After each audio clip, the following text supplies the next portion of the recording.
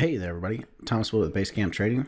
It is Friday, March 10th, and we're going to take a look at the bond market here. This is 30 year Treasury bonds, and we're going to talk about kind of what's coming up next week. So, we've had this pennant breakout this week. It played out really, really well. Uh, came all the way down and starting to bounce a little bit today after uh, non farm payroll, but this has played out basically as much as we wanted or much as we expected to see for this week. Now we're kind of neutral. And the reason we're going neutral in the next week is because on Wednesday, the 15th, we have FOMC rate decision. That's when the Fed decides whether or not they're going to change the benchmark interest rate.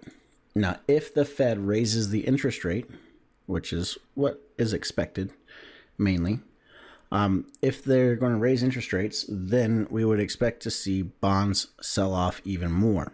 So the next step that we need to see here is a break below 145 and 28 30 seconds if they raise interest rates.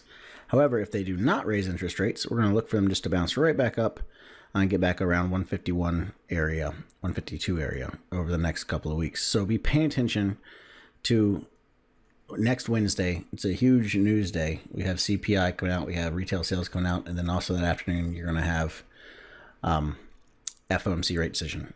So that's Wednesday at 2 p.m. Be aware that's coming. I like staying out of bonds typically going into rate decision for any swing trades. I mean, day trades are still fine, and we'll talk about those in the trading room. But swing trades, we stay out of them going into rate decision because when the Fed decides to move bonds, you're not going to stop them. Alrighty.